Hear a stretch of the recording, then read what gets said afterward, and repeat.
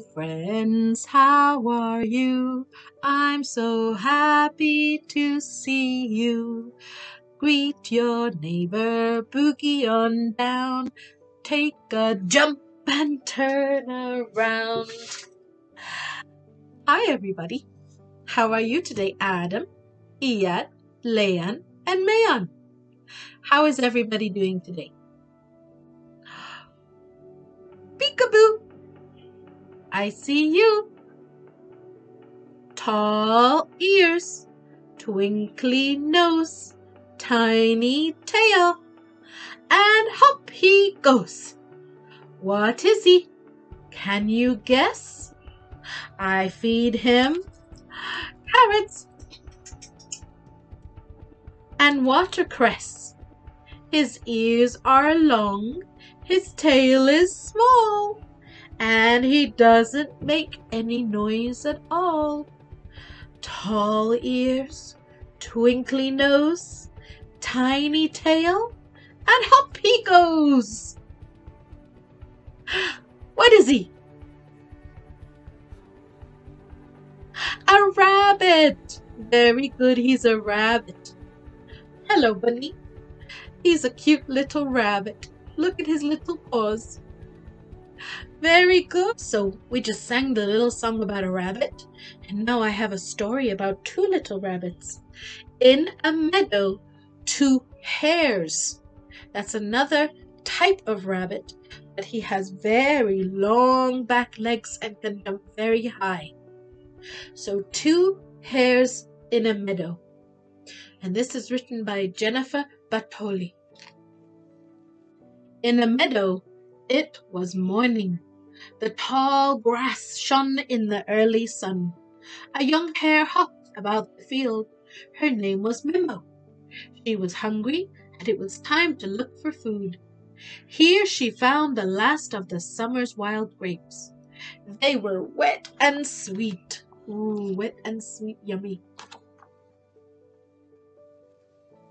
Mimo ate many of the dark grapes. Then she hid in the shadow of the vine and watched the meadow around her. Down a small grassy hill, something moved. Mimo sat up, ready to leap away. Coming toward her was another young hare, all brown and white and furry. Oh, do you see? In the grass. Deep in the sunny grass, two hares looked at each other. Lipo, the other hare, put out a paw. Mimo's long ears went straight back. Oh, look. A little bit scary. But suddenly, Mimo's ears were up again.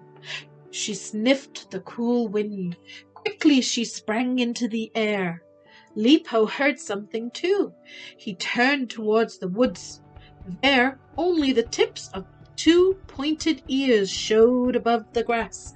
Can you see two pointed ears? All the way over here? What is it? Into the meadow a fox had come. And when the fox saw Mimo and Lipo, the chase was on. The two hares ran, turning and darting to escape the fox. Their two white tails bobbed up and down in the grass, and the fox followed them. Look, oh no, the chase is on.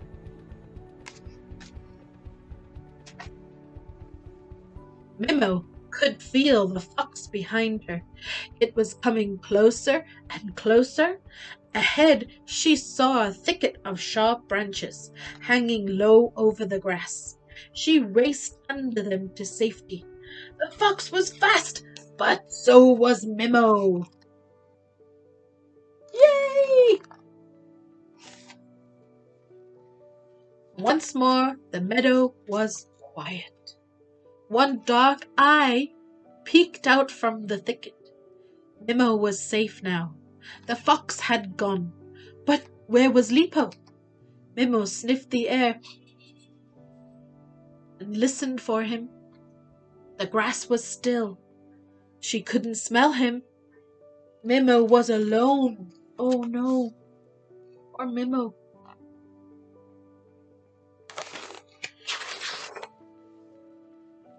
Slowly, the warm days of autumn ended and the winter settled over the meadow. Mimo's fur grew thick to keep her warm. It was white now, to match the quiet snow. Only the tips of her ears were dark. Mimo was always hungry, but she looked for food only at night, or in the safe darkness of early morning. When light filled the sky, Mimo hid in her home in the snow.